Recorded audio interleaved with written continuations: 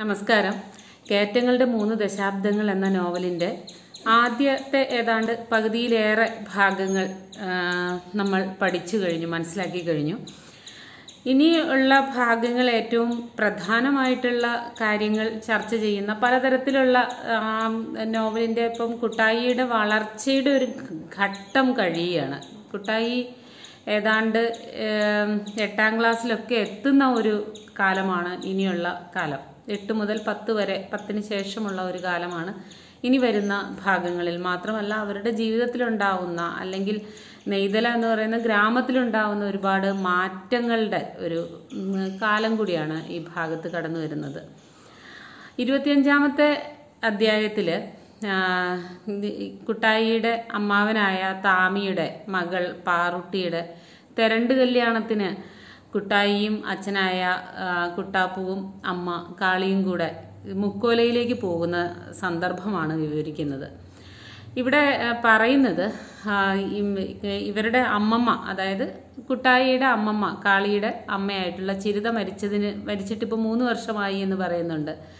ചിരിതയ്ക്ക് സുഖമില്ലാതിരുന്ന കടന്ന ചിരിതയ്ക്ക് സുഖമില്ലാതെ കിടന്നിരുന്ന സമയത്ത് കാളി പലപ്പോഴായിട്ട് അവിടെ പോയിട്ടുണ്ട്. ചില സമയത്ത് നോക്കാനൊക്കെ ആയിട്ട് അവിടെ നിന്നപ്പം അട്ടത്ത് കിടന്നിരുന്ന തേങ്ങയുടെ കണക്കെല്ലാം പറഞ്ഞുകൊണ്ട് കാളും അമ്മായി അതിനെയൊക്കെ ഒരു തരത്തിൽ ഒരു കണക്ക് പറച്ചിലൊക്കെ ഉണ്ടായതുകൊണ്ട് പലപ്പോഴും ഇവർ പോവാറില്ലായിരുന്നു. കാളി പോവാറില്ലായിരുന്നു. അമ്മ മരിക്കുന്നത് വരെ ചിലപ്പോൾ പകൽ പോയി വരുമായിരുന്നു എന്ന് മാത്രമാണ് പറയുന്നത്. അങ്ങനെ അതിനുശേഷം കാര്യമായിട്ടൊന്നും കാളി അങ്ങോട്ട് പോയിട്ടില്ല. കുട്ടായും കുട്ടാപ്പവും ഒന്നും അങ്ങനെ പോയിട്ടില്ല. അങ്ങനെ പാറുട്ടിയുടെ തിരണ്ട് കുളിയുമായിട്ടുള്ള ഒരു പരിപാടിയിൽ പങ്കെടുക്കുന്നതിന് വേണ്ടിയിട്ട് ഇവർ മൂന്നുപേരും കൂടെ പോകുന്നത്. അവിടെ ചെന്ന സമയത്ത് കാളമ്പൂവിന്റെ അനിയത്തിയായിട്ടുള്ള കോതക്കുട്ടിയുണ്ട്.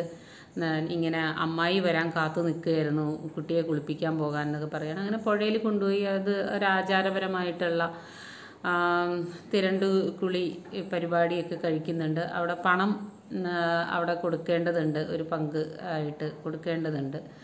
ചില ആചാരവിശേഷങ്ങളുടെ ഭാഗമായിട്ടാണ്. അപ്പം അതുമെല്ലാം കൊടുത്തു കഴിഞ്ഞ് അവർ യാത്ര പറഞ്ഞ് അവിടെ നിന്ന് പോരുന്നുണ്ട്. പോരുന്ന വഴിക്ക് അങ്ങനെ വീട്ടിലെത്തിയതിന് ശേഷം അവർ മൂന്ന് പേരും മൂന്ന് തരത്തിലുള്ള സ്വപ്നം ആ രാത്രി കാണുന്നുണ്ട്. കുട്ടാപ്പ് കാണുന്ന സ്വപ്നം എന്ന് പറഞ്ഞു കഴിഞ്ഞാൽ താമിയളിയനോടൊപ്പം നടന്നു പോകുന്ന വഴിക്ക് കുറേ പാമ്പുകൾ ഇഴഞ്ഞു പോകുന്നതും മറ്റുമൊക്കെ കാണുന്ന സമയത്ത് ഇതെന്താണ് എന്ന് ചോദിക്കുന്ന സമയത്ത് ഇത് കോതക്കുട്ടിയുടെ ഭർത്താവിന്റെ അനുജന്മാരാണ്. കാരണം കോതക്കുട്ടി ഭർത്താക്കന്മാരുടെ അനുജന്മാരെയും വെച്ചുകൊണ്ടിരിക്കുന്നു എന്നുള്ള ഒരു ശ്രുതിയുണ്ട്. അപ്പോൾ അത് വെച്ചുകൊണ്ട് അനുജന്മാരുടെ പാമ്പുകളാണ് എന്നുള്ള നില നമുക്ക് നല്ലത് കൊടുത്താലോ? അപ്പോൾ അത് വേണ്ട എന്ന് പറഞ്ഞുകൊണ്ട് കുട്ടാപ്പു അവിടെ നിന്ന് ഓടി അവിടെ നിന്ന് മാറുന്നതായിട്ടൊക്കെ സ്വപ്നം കാണുന്നു. അപ്പോൾ കുട്ടാപ്പു ഒന്ന് ഉരുണ്ട് വരേണ്ടതായിട്ട് അവിടെ പറയുന്നുണ്ട്. അതേസമയം കാളി കാണുന്ന സ്വപ്നം എന്ന് പറഞ്ഞു കഴിഞ്ഞാൽ ഒരു ആളില്ലാത്ത ഒരു തോണി കരയ്ക്കടുത്ത് വരികയാണ്. അപ്പം അതിലേക്ക് സൂക്ഷിച്ചു നോക്കുമ്പോൾ അതിനകത്ത് കണ്ടാരുട്ടിയാണ് കിടക്കുന്നത്. കണ്ടാരുട്ടിയെ കണ്ടിങ്ങനെ നോക്കി നിൽക്കുന്ന സമയത്ത് വീടിന്റെ ഉമ്മറത്ത് നിന്ന് കുട്ടാപ്പു ദേഷ്യത്തിൽ എന്റെ മോൻ എന്റെ മോനാണോ? എന്ന് ചോദിക്കുന്ന ആ ചോദ്യമാണ്. അത് കേട്ടിട്ട് അല്ല എന്നോ മറ്റോ പറയുന്നതായിട്ടുള്ള ആ സ്വപ്നത്തിന്റെ ഒരു വല്ലാത്തൊരു ഏഹ് വികാര തളിച്ചയിലാണ് കാളി ഒന്ന് ആ സ്വപ്നം കണ്ട് ഒഴിമിക്കുന്നത് അതേസമയം കുട്ടായി കാണുന്ന സ്വപ്നം എന്ന് പറയുന്നത് അവന്റെ അമ്മാവന്റെ മകളായ പാറുട്ടിയോടൊപ്പം ഒരു കവുങ്ങൻ തോട്ടത്തിലൂടെ ഓടി നടക്കുന്നതും പതുക്കെ പാറുട്ടി അപ്രത്യക്ഷമാകുന്ന ഒന്നിലുമാണ്. അങ്ങനെ ഇരുപത്തി അഞ്ചാമത്തെ അധ്യായം അവസാനിക്കുകയാണ്. ഇരുപത്തി ആറാമത്തെ അധ്യായത്തിൽ ഇവരുടെ അഴ- അയൽവാസി ആയിരുന്ന തുപ്രം വൈദ്യര് പെട്ടെന്ന് കടയിലേക്ക് പോകാനായിട്ട് ഇറങ്ങിയ സമയത്ത് പെട്ടെന്ന് നെഞ്ചുവേദന ഉണ്ടായി മരിച്ചു പോവുകയും ആ മരണത്തിൽ പങ്കെടുക്കാൻ കോൺഗ്രസ് നേതാക്കളായിട്ടുള്ള കോഴിപ്പുറത്ത് മാധവ മേനോനും കുട്ടിമാളും അമ്മയും അടക്കമുള്ളവർ അവിടെ വരുന്നതും അവർ ആ നാട്ടിലുള്ള എല്ലാവരും അവിടെ വന്നു പോകുന്നതും ഓരോരുത്തരുടെ സങ്കടങ്ങളും ഒക്കെ ആയിട്ടുള്ള പിന്നെ നെയ്തലയിലെ വിവരമുള്ള മനുഷ്യനെന്നാണ് കുട്ടാപ്പു തുപ്രം വൈദ്യരെ പറ്റി വിചാരിച്ചിരുന്നത്. അങ്ങനെയുള്ള ആ അവരെ അവരെ സംബന്ധിച്ചിട്ടുള്ള അദ്ദേഹത്തിന്റെ മരണവുമായി ബന്ധപ്പെട്ട ഇനിയിപ്പോൾ ലക്ഷ്മിയമ്മയും കുട്ടികളും ഒറ്റയ്ക്കായി പോകുമല്ലോ എന്നുള്ള ഒരു വേവലാതിയും ഒക്കെ കടന്നു വരുന്ന ഒരു അധ്യായമാണ്. മാത്രമല്ല അതിന്റെ അവസാനത്തിലാണ് കുട്ടാപ്പു തീരെ വീടുമായിട്ട് അടുപ്പമില്ലാതാവുന്നു. കുട്ടാപ്പു ഒട്ടും സംസാരിക്കുന്നില്ല. കുട്ടാപ്പു ഒരു തരത്തിൽ ആ വീട്ടിൽ നിന്ന് അകന്ന് മാറി ജീവിക്കുന്ന ഒരവസ്ഥയാണ്. കുട്ടാപ്പുവിന്റെ ഉള്ളിൽ എപ്പോഴും കുട്ടായി തന്റെ മകനാണോ എന്ന ഒരു ചോദ്യം എപ്പോഴും കിടക്കുന്നുണ്ട്. അങ്ങനെ കാളിക്കാണെങ്കിൽ ഇതൊരു ഭയങ്കര ബുദ്ധിമുട്ടായിട്ട് തന്റെ താനാണ് എല്ലാത്തിനും കാരണക്കാരി എന്നുള്ളൊരു തോന്നൽ കാളിയുടെ മനസ്സിലുണ്ടാവുന്നുണ്ട്. കാളിക്ക് ഇത് ആരോട് പറയുമെന്ന് ആരോടെങ്കിലും പറഞ്ഞൊതുക്കുവാൻ കഴിയാതെ ജന്മം മുഴുവൻ ഒറ്റയ്ക്ക് പേറേണ്ടി വരുന്ന ചില സങ്കടങ്ങളുണ്ടെന്ന് കാളിക്ക് തോന്നുന്നുണ്ട്. അങ്ങനെ കുട്ടായി വെറുതെ തെങ്ങ് കണ്ടപ്പം തെങ്ങിനകത്ത് കയറി നോക്കണം എന്ന് വിചാരിച്ച് അങ്ങനെ ഉയരത്തിലേക്ക് ഉയരത്തിലേക്ക് പോയി തെങ്ങിന്റെ മുകളിൽ പോയിട്ട് തിരിച്ച് വളരെ ആശ്വാസത്തോടു കൂടി ഇറങ്ങുന്നുണ്ട്. വീണ്ടും അറിയാതെ തെങ്ങിന്റെ മണ്ടയിലേക്ക് മനസ്സ് പോകുന്നുണ്ട്. അങ്ങനെ ഇരുപത്തിയാറാമത്തെ അധ്യായം അങ്ങനെ അവസാനിക്കുകയാണ്. ഇരുപത്തി ഏഴാമത്തെ അധ്യായത്തിൽ ഇപ്പം ആ, പ്രധാനമായിട്ടും പറയുന്നത് നെയ്തലയിലുണ്ടായിരുന്ന ഒരു കമ്മ്യൂണിസ്റ്റ് പ്രസ്ഥാനത്തിന്റെ വളർച്ചയെ സംബന്ധിക്കുന്ന ഒരു കാര്യങ്ങളാണ് ഇരുപത്തി ഏഴാമത്തെ അധ്യായത്തിൽ പറയുന്നത്.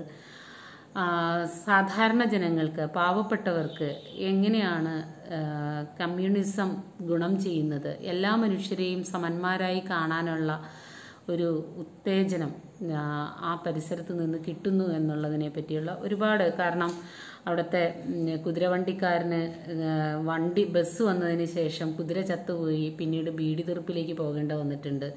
കൃഷിക്കാരന് വേണ്ട രീതിയിൽ കൃഷിപ്പണിയിൽ നിന്ന് വേണ്ട രീതിയിൽ ഒന്നും കിട്ടാത്ത അവസ്ഥയുണ്ട്. പലരും കുടികിടപ്പുകാരായിട്ട് ഇന്നും ജീവിച്ചു പോകുന്നുണ്ട്. സ്വന്തമായിട്ട് ഒരു സെന്റ് ഭൂമി പോലും ഇല്ലാത്തതുണ്ട്. അപ്പോൾ അവിടെയൊക്കെ ഭൂപരിഷ്കരണം വരുമോ എന്നൊക്കെയുള്ള പലതരത്തിലുള്ള ശുഭപ്രതീക്ഷകൾ. സോവിയറ്റ് യൂണിയനിലും മറ്റുമുള്ള പല കാഴ്ചകളും ഇവിടെ അപ്പുശോനും മറ്റുള്ള പല ആളുകളും കമ്മ്യൂണിസ്റ്റ് നേതാക്കളും ഇവിടെ പറയുന്നുണ്ട്. മാത്രമല്ല എല്ലാ മനുഷ്യരും സമന്മാരാണ് എന്ന ഒരു സന്ദേശം അവിടെ പറയനും പുലയനും ദളിതനും അല്ലെങ്കിൽ അങ്ങനെയുള്ള അവർണരും എന്നുള്ളതില്ല. കോലോത്തേക്ക് എല്ലാവർക്കും ഒരുമിച്ച് കയറി ചെല്ലാൻ പറ്റുന്ന ഒരു കാലമുണ്ടാവും എന്ന് വിചാരിക്കുന്നുണ്ട്.